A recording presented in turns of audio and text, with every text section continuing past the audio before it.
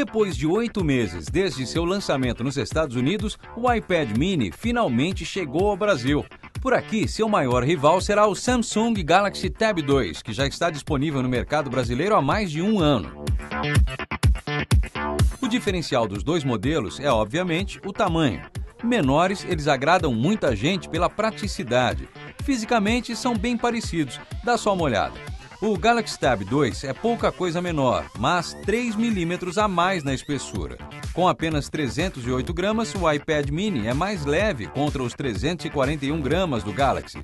Nas mãos, a diferença é praticamente imperceptível, a não ser pelo design do iPad que segue toda a linha de produtos da Apple. A tela com tecnologia LCD Super do Galaxy Tab 2 tem exatamente 7 polegadas e resolução de 1024 por 600 pixels. Nada inovador ou surpreendente, mas com boa qualidade e definição para assistir vídeos em HD.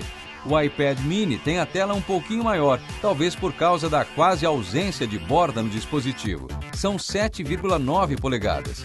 A tecnologia IPS LCD também deixa a tela de resolução de 1024 por 768 pixels mais nítida e brilhante do que a do seu rival.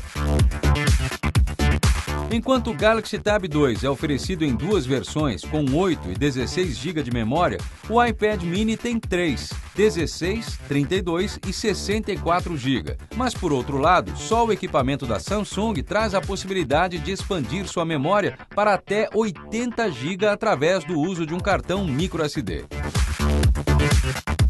Este é um ponto interessante. Ainda que de diferentes nomes, os dois tablets trazem embarcados processadores com dois núcleos com 1 GHz de velocidade. Assim, a performance dos dois aparelhos se diferencia mesmo pelo sistema operacional e não necessariamente pelo processador. Os dois aparelhos oferecem experiência fluida e rápida tanto para abrir aplicativos quanto para mudar de um app para outro. Talvez esta seja a grande diferença entre iPad mini e Galaxy Tab 2, o sistema operacional. Como já dissemos algumas vezes aqui, a gente acredita que sistema operacional é questão de gosto, cada um tem o seu favorito. O iPad mini opera com a última versão do sistema da Apple para dispositivos móveis, o iOS 6, que muito em breve será atualizado para sua sétima versão. Já o Galaxy Tab 2 trabalha com sistema Android e, em sua maioria, já oferece atualização para a versão 4.1, a Jelly Bean.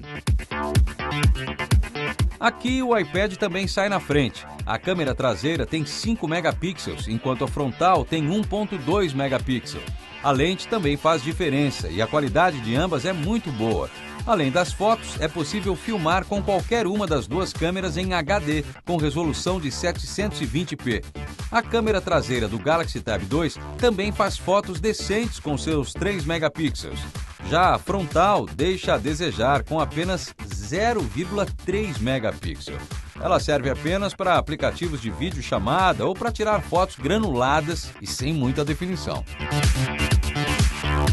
Segundo a Apple, a bateria do iPad mini tem autonomia de até 10 horas. Essa é outra diferença significativa, mas a duração da bateria também depende do uso do aparelho. A Samsung não afirma nada sobre a autonomia de bateria do Galaxy Tab 2, mas diversos testes e depoimentos de usuários mostram que dificilmente a bateria chega a 6 horas de duração, o que decepciona bastante. Os dois aparelhos são oferecidos em versões somente Wi-Fi ou também com suporte para conexão celular. O iPad mini já vem com 4G LTE habilitado, mas ele não é compatível com o 4G brasileiro. Já o Galaxy Tab 2 só tem versão 3G. Ambos possuem conexão via Bluetooth. A diferença no bolso é grande. Enquanto o iPad mini chegou por aqui por R$ 1.299 pelo modelo básico com 16 GB de memória e sem 3G, o modelo equivalente do Galaxy Tab 2 é encontrado em algumas lojas por pouco mais de 600 reais, menos da metade do preço. Para os fãs da Apple, não há discussão, mas para quem quiser economizar, o tablet da Samsung é uma ótima opção.